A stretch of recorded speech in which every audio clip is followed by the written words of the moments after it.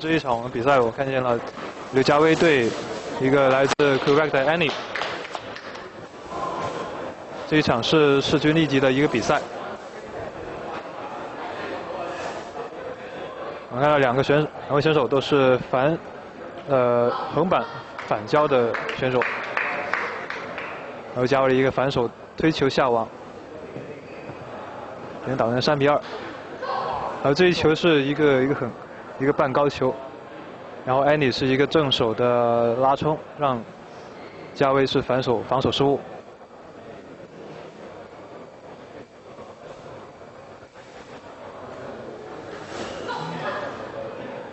我们看这一球加加加威拉下网，是因为他的一个一个他的一个他的手腕比较下垂一点，所以他的拉球是用不上力，然后球就容易下网。这一球是犯了一个同样的错误。如果他这个技术是不不能够明显改善的话，他的球技可能会得不到很高的一个提升。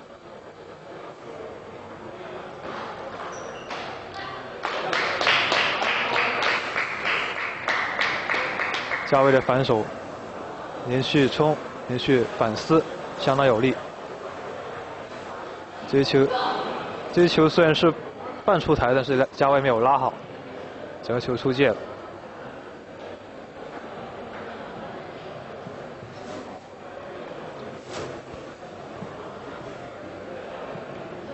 加维也是采取了反手发球，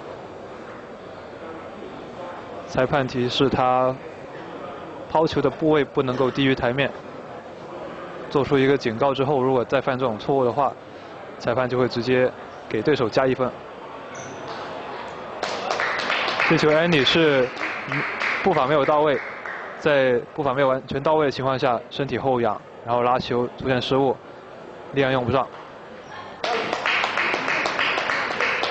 这球正手碰球相当有效，安妮是直接反手反手拨球失误，趁着擦汗的时机再思考一下下面该怎么打。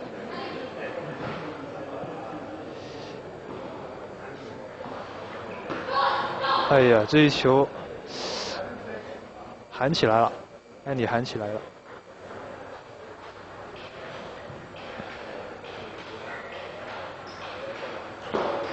哎呀，这个角度打得相当好，加威是反手一个大角度的推，拨拉到拨拉到安妮的正手位，大角度，安妮扑正手失误。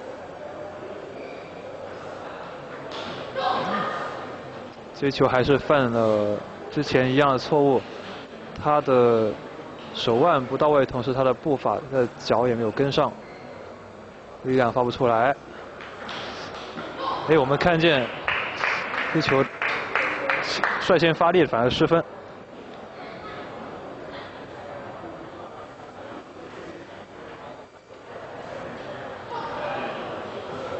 正手摆短失误。直接下网，比分成为了十比七。哎呀，这球是过于凶狠，然后板型过于下压，导致球的就直接擦网出界。想一下，从反手位到正手位发球，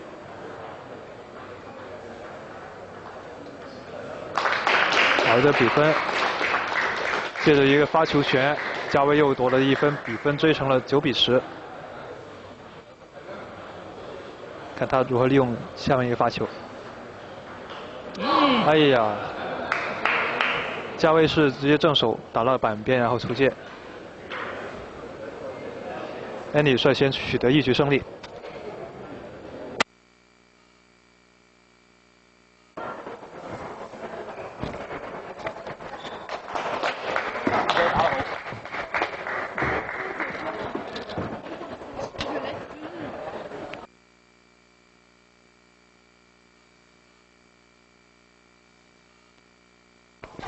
又到了第二局比赛，换边，加威率先发球，加为一个好，加为一个正手的切长，让对手直接拉球失误。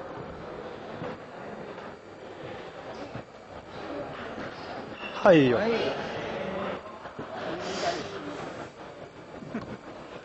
这球失误实在相当无谓，但是也是由于他技术结构的原因导致他的这个失误。也是步伐没有到位情况下。反手拉球出界，还是重心推的不够前。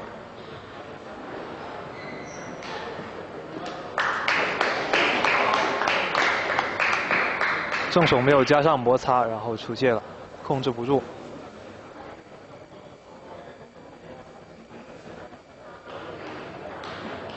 然后这球连续的进攻相当的有力，正手先先抢让，抢拉转反手反撕。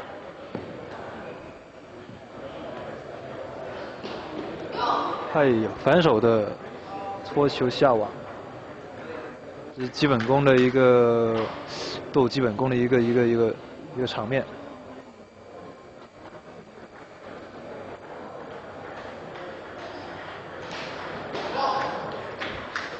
艾里是正手相当的凶狠，然后迫使了加威的防守失误。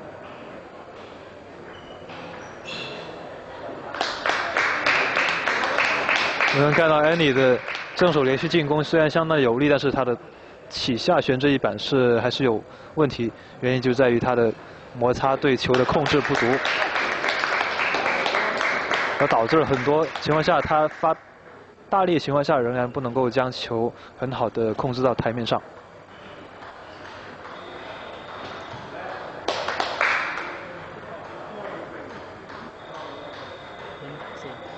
裁判又提示了一个比赛的暂停。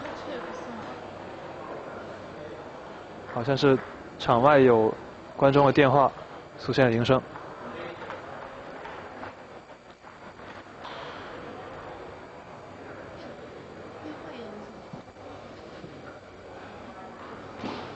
哎呀，这球擦，这球擦网球差点失误了。这球是相当勉强的发力，这球如果左脚再延上去的话，他会。应该会比较好的一个场面。和场外的观众提示裁判判错分，裁判立时立刻就改正过来。安迪打得相当有激情，他在每得到一分之后都很放松的、很松弛的喊了起来。而这一球拉出相当有力，是在近台。他入了台面，完全是浮在台面上对对手的进攻，然后对手是被动拉球失误，这球好像是有点擦到擦到桌子边了。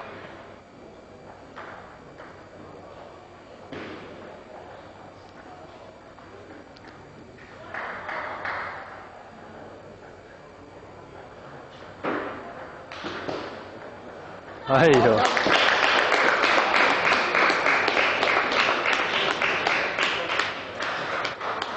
嗯，看见这个西方人打球还是相当的有激情，那眼神，他的每根发丝都是充满了一个激情的力量。